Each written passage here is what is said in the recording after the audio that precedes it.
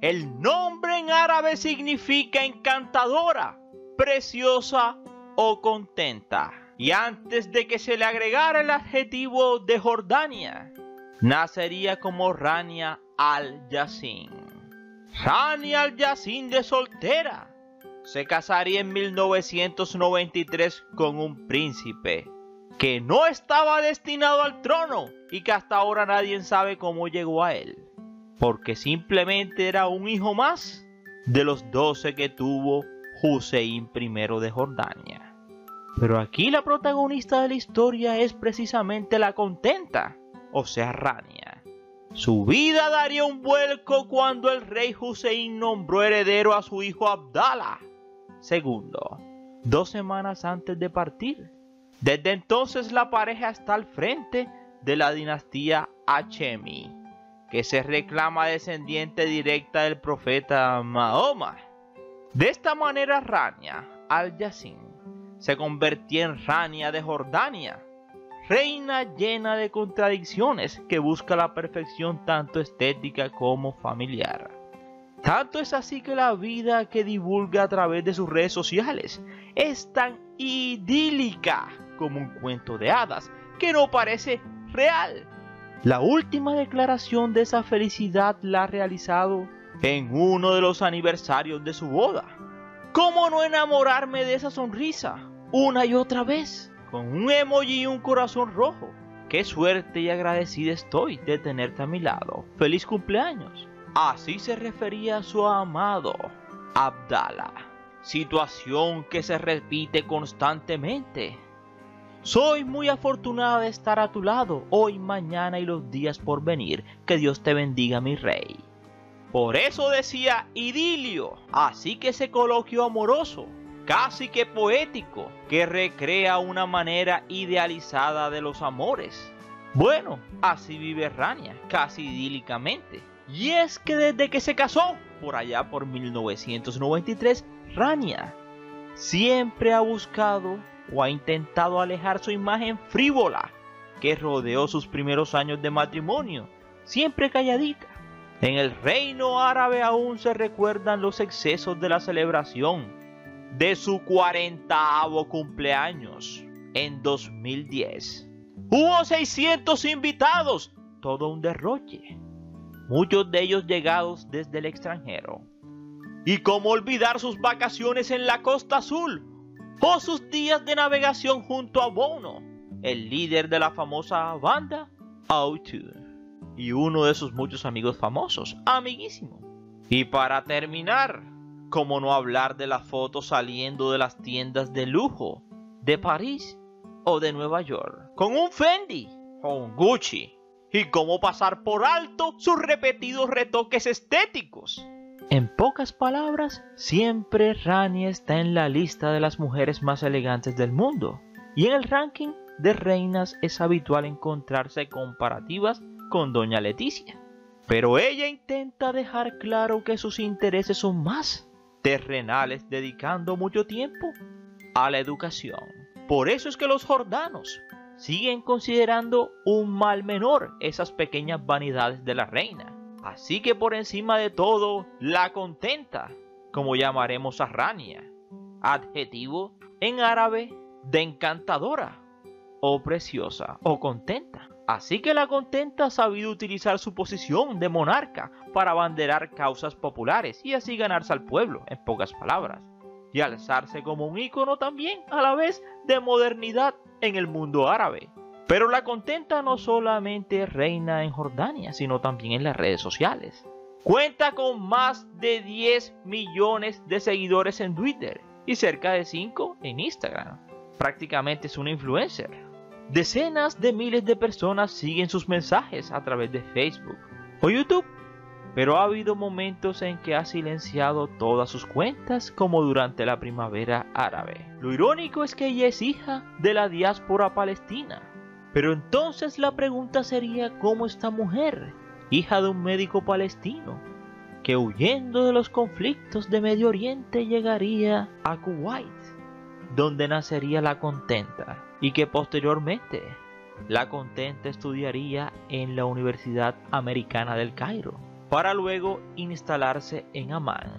Entonces, nació en Kuwait de padres palestinos, estudió en el Cairo y trabajó en Amán. Trabajó en Citeban, Apple, hasta que conoció a Abdallah. Así que si quieres saber más de este idílico romance, de esta historia de amor tan perfecta que no parece real, según muchos. Una mujer que parece que le hace más promoción a su marido en las redes sociales.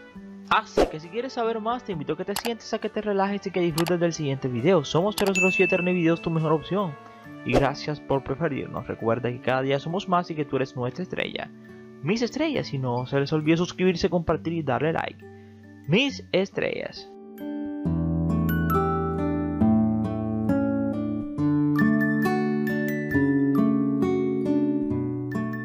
Nacida en Kuwait en 1970 como Rania al-Yassin, lugar del que su familia huiría rumbo a Jordania tras estallar un insuceso bélico, el insuceso bélico del Golfo, en 1991.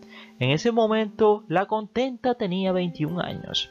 Se fue al Cairo, a Egipto, a estudiar en la Universidad Americana, Administración y Dirección de Empresas. Se graduaría y empezaría a trabajar en 1992 en Citigroup del Citibank. Luego para la compañía Apple en la capital de Jordania, Amán. Se conocería con Abdallah en 1993 durante una cena con amigos. Yo diría que durante una cena entre jefe y empleados y la única diferencia sería entre su padre y Abdallah es que el viejo Hussein conoció a, la mayoría de sus chicas en el aeropuerto y su hijo Abdallah, bueno, en una cena. Según Rania, Abdallah tenía una sonrisa tan grande y una energía tan contagiosa que se llevaron bien. Y sí que se llevaron bien al punto que dos meses más tarde, solo dos, pasaron para que se comprometieran. Y en total a los 5 meses de haberse conocido, se casaban. Ella tenía 22 y él 31. En aquel momento la pareja nunca se imaginó su destino. De hecho, se planeó que el sucesor de Hussein sería su propio hermano, el príncipe Hassan, o sea, el padre de Abdallah, porque Abdallah era uno de los 12 hijos y tampoco era el favorito del viejo Hussein. Pero 13 días después de que partiera Hussein I de Jordania en 1999, al parecer nombró a Abdallah. Así fue como el 7 de febrero del 99 Abdallah II se convirtió en rey de Jordania e hizo de Rania, o sea de la contenta, su reina unos días después. Ya tenían dos hijos, a Hussein nacido en 28 de junio del 94 e Iman nacido en septiembre del 96. Los otros dos nacerían en el año 2000 y en el año 2005.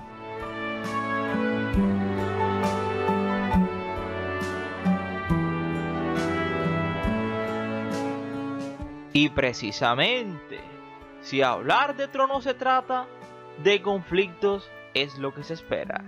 El 9 de febrero del 99, dos días después de la partida del rey Hussein I de Jordania, inmediatamente empezó una batalla entre bandos por el trono.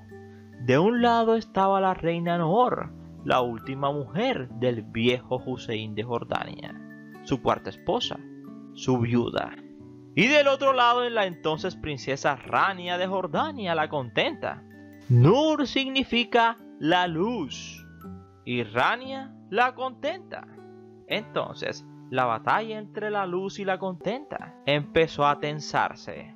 Tras la inminente subida al trono de Abdala, la contenta quedaría como reina consorte. Y es que el problema radica en que el viejo Hussein antes de partir le dijo a su hijo Abdallah que nombrase a Hamza bin Hussein, o sea, al hijo de la reina Nur, el mayor, como heredero, como príncipe heredero. O sea, que cuando Abdallah faltara, asumiera Hamza bin Hussein el trono como rey de Jordania. Al principio, Abdallah II dijo, bueno, lo haré. Pero al pasar el tiempo cambió de idea y modificó la ley para que subiera al trono ya no su hermano, sino su hijo. Aunque supuestamente era un problema lejano en el tiempo, pero que podría demostrar la división que existe entre las familias y sobre todo entre las mujeres reales. Nur y la contenta. Y resulta que los vaticinios de aquel entonces resultaron siendo ciertos. El cambio de planes de Abdala II apartó a su hermanastro del trono y aceptó el golpe definitivo a Nur de Jordania, quien si bien tras quedarse viuda había regresado a Estados Unidos, su país de origen, conservaba cierta posición en la corte, como madre del futuro rey, o sea, de Hamza. Según muchos, detrás de aquella decisión se encontraba la contenta, que habría maquinado para lograr que su hijo fuera el heredero. Por eso juega en el año 2021 Hamza, quien en algún momento fue heredero al trono de Jordania, sería apresado por supuestamente conspirar contra su hermano. Así que la última vez que se vio a Rania la contenta y a Nur la luz sería en la boda del príncipe Hamza, celebrada en mayo del año 2004. Ambas mujeres aparecían riéndose. Ambas mujeres aparecían felices. Hoy Rania o la contenta es una mujer que se conoce a nivel mundial, no solo por ser la reina de Jordania, sino también por su glamour, sofisticación y a la hora de vestir también una mujer casual. Se le suele ver con tenis y con ropa descomplicada de igual forma también se le puede ver con trajes de Dior. Pero sobre todo es conocida por decir que ama a su marido como desde el primer día en que lo conoció. No sabemos si lo hace para darle propaganda, aun cuando el rey tiene malas pasadas y tiene mucho menos acogida entre la población. Todo lo contrario a Hamza, que es bien carismático y cercano al pueblo. Pero lo irónico es que entre los dos hermanos, es la contenta la que se gana la simpatía a nivel mundial, ya sea por su belleza, por su sofisticación o por la supuesta veneración hacia su marido y devoción hacia él. No sabemos si es para hacerle propaganda o lo hace porque verdad lo ama como desde el primer día. Lo único cierto es que la contenta es la contenta y enamora al mundo con su belleza su glamour y su inteligencia para saber manejar las fichitas y hoy tener a su hijo como heredero al trono y así mantenerlo. Bueno, eso dicen. Y esperamos que te haya gustado este interesante video, no sin antes decirte gracias por preferirnos. Recuerda que cada día somos más y que tú eres nuestra estrella. Mis estrellas, esas que tanto quiero, sueño y sé que ellas me quieren a mí. Mis estrellas.